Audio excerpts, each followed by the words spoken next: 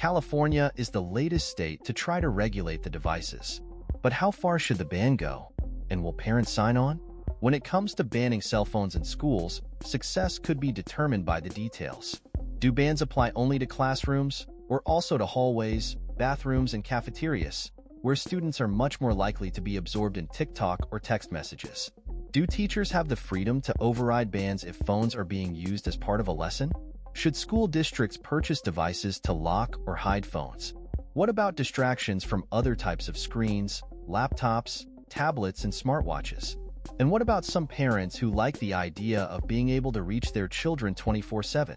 Those were just some of the questions that faced Governor Gavin Newsom of California after he announced that his state would be the latest, after Florida and Indiana, to pursue a school cell phone ban. Teachers who have tried to restrict cell phone use on their own said limits can be difficult to enforce, if only because phones have become so embedded into daily life, perceived as necessary for practical and emotional reasons. Yet some districts with a comprehensive policy have had success, overcoming resistance and seeing a change in student behavior. Naomi Frierson, 44, a fifth grade teacher in the Tampa, Florida area, said little had changed for her since Governor Ron DeSantis imposed a statewide ban last year on smartphone use in classrooms. She had already required students to put phones in a storage pouch that hangs on the wall away from their desks. But, she added, she understands that phones are a useful communication tool for students who walk home alone from school or who care for a younger sibling in the afternoons. The possibility of a smartphone ban in schools in Apple's home state of California looks increasingly likely after Governor Gavin Newsom added his support. The move follows an opinion piece by the U.S. Surgeon General proposing a warning label on social media apps, given the mental health risks they pose to adolescents.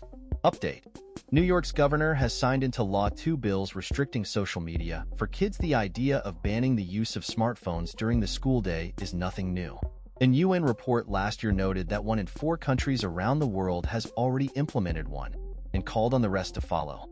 UNESCO argues that, in addition to the specific problems caused by smartphone use at school, it's also important to send a message that face-to-face human communication needs to be prioritized over screen time. The policy of allowing children to bring phones to school, while banning their use during the day, would still allow parents to contact children to arrange pickup once the school day has ended. Governor Gavin Newsom yesterday promised legislation. As the Surgeon General affirmed, social media is harming the mental health of our youth. Building on legislation I signed in 2019, I look forward to working with the legislature to restrict the use of smartphones during the school day. When children and teens are in school, they should be focused on their studies, not their screens. When I was in school 15 years ago, phones were not allowed to be out. This is nothing new as many school districts already have bans. I guess this is more a mandatory guideline for the remaining school districts, or just to give more enforcement. The New York Times reports that the LAUSD voted in favor of a ban later the same day. His directive came hours before board members at the Los Angeles Unified School District, the country's second largest school district, voted to pursue their own smartphone ban that could begin in January. There seems to be a growing consensus in favor of these bans. In our poll, the majority of you supported a ban. Florida and Indiana have implemented their own restrictions, and New York Governor Kathy Hochul last month promised a statewide ban next year.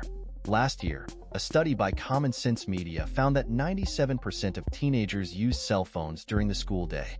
A study released in April by the Pew Research Center found that 72% of U.S. high school teachers and 33% of middle school teachers said cell phone distractions were a major problem in classrooms.